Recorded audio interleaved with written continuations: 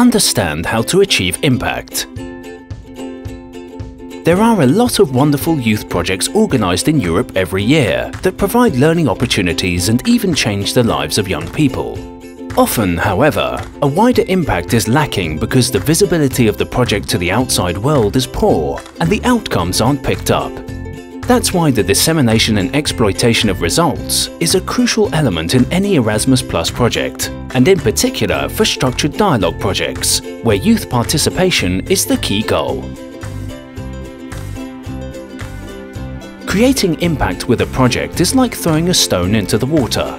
If you throw it nonchalantly in, it will only make a little splash.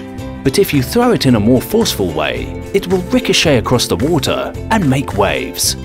That's why creating an impact doesn't start when you disseminate the outcomes of your project.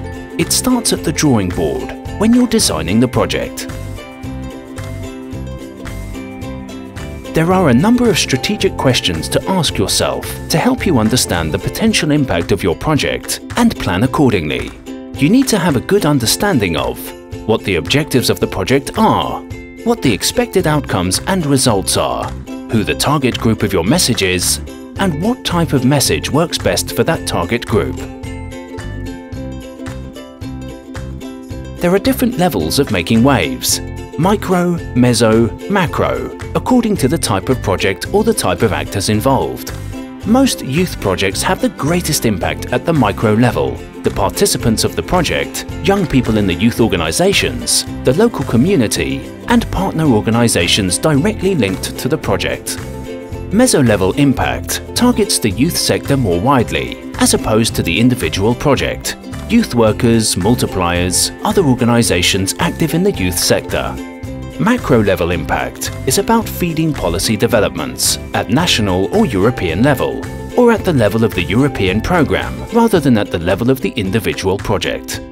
This can be achieved by linking your project to specific national or European events or participatory processes, such as the structured dialogue. Visibility means giving your project exposure throughout its different stages. Carrying out a project is a valid reason in itself to let the outside world know about your activities, your organisation and the Erasmus Plus programme.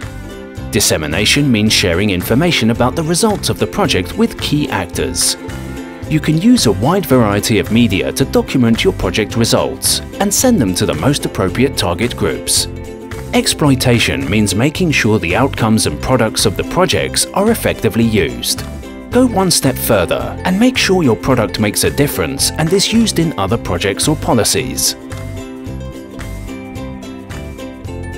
For a project that aims at youth participation in decision making, it is crucial that decision makers take the results into account in their work this can be done by setting up a dialogue between young people and decision makers, and by lobby and advocacy actions. Target the policymakers who are open to dialogue and are in a position to do something with what you tell them. Ensure that the young people are well prepared to engage in a dialogue with decision makers. Make sure they know who they're talking to and what processes they're participating in. Expectations on both sides should be clear and the format should fit the purpose of the dialogue. If the youngsters have engaged with their peers, they will feel empowered to act as representatives. You can set up a consultation, organise focus groups, or include a discussion in your regular activities with the young people. In many countries, the EU Structured Dialogue is implemented through a core group of youth ambassadors. This is a model that can also be applied at other levels. Working together with representative youth structures, such as youth councils and youth organisations or youth authorities, can help. They often have the knowledge and network that can help you plan and achieve the impact you are looking for. They can also pick up the outcomes in their own actions or youth policy making. Involving young people, experts and decision makers in a regular dialogue over a longer period of time can increase the chances of the dialogue you set up leading to results. This allows for a relationship of trust to grow between the different participants in the dialogue. Ideas and recommendations can be looked at again or feedback given after implementation.